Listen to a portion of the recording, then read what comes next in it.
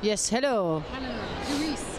Yeah. Um, now that the show has ended and your character had such a great, great way of leaving everything, I think it was very beautiful. I was very happy with my ending. It felt like it was elegant, it was bittersweet, it was, Melancholic.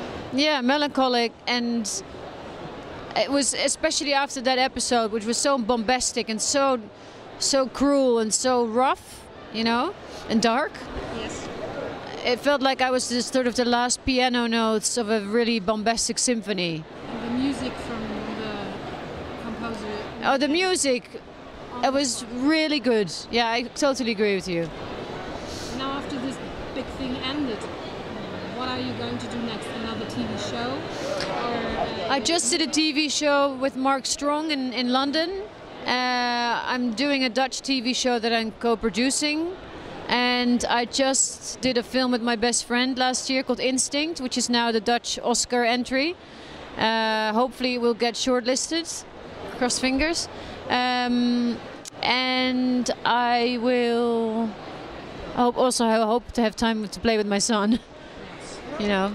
How, difficult is it to, to balance? I mean, having a little kid and being so busy because career has to go on and you have to keep it moving and you fly a lot, you're taking them with you? It depends how far, how far and how long I go. Because if I'm just for, the, for example, this is just a weekend, I won't take him uh, because you know he's going to be somewhere not seeing me anyway because I'm working all day.